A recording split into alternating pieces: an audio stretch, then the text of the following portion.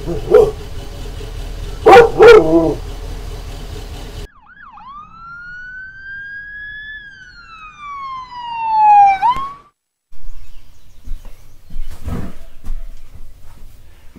morning,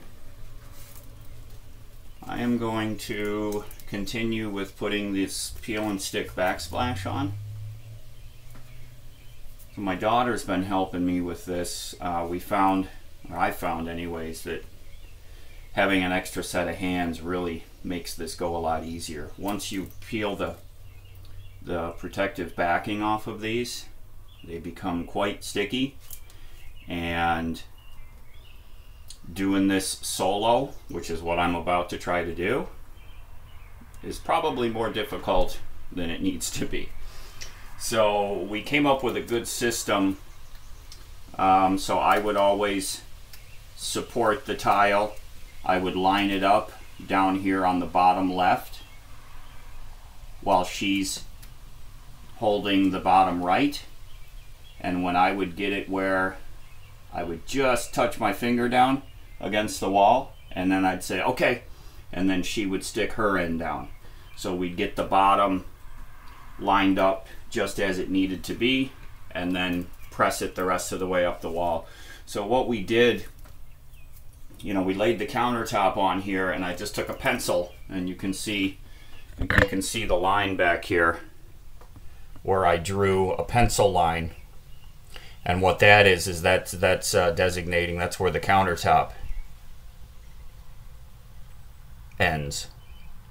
So took the piece of counter, the wood out, and we're working on this without it there. It's been a real challenge going around these outlets. Um, so we uh, came up with a system. I used some mechanics wire through the screw hole and wrapped it around the wires back up in the wall there just so that they didn't fall back and beyond reach. I doubt that would have happened, but it was easy enough just to put this uh, mechanics wire around them. So this section here, we've got one, two, three, four tiles up here. I've got one more piece. I've got it cut already. I think you can see the holes in it there. So that's going to go right up here and butt up against the corner. And then it's just a matter of some partial pieces. It's going to be one, two, three, four, five partials up top.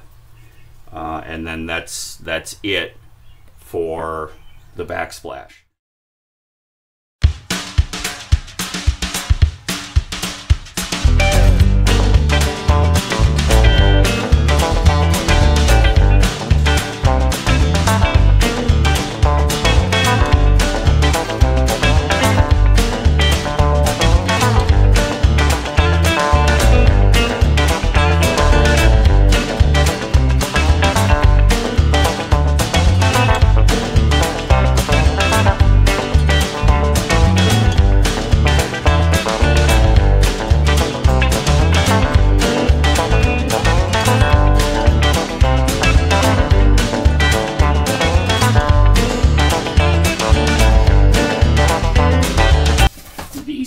Company called Art 3D, and you get 10 sheets in a box, and it was uh, $35 off Amazon, and I'll put the link in the description.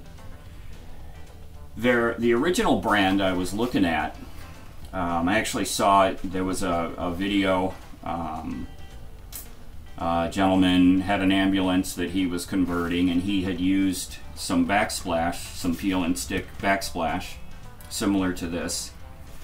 And it was a brand, uh, he had picked it up at Home Depot. And so I looked it up at Home Depot. I actually went over and looked at it in the store. And a single sheet, one sheet, they have packages with just one sheet, was $7 and change. They had a pack with four sheets for $29. So four sheets, 29 bucks.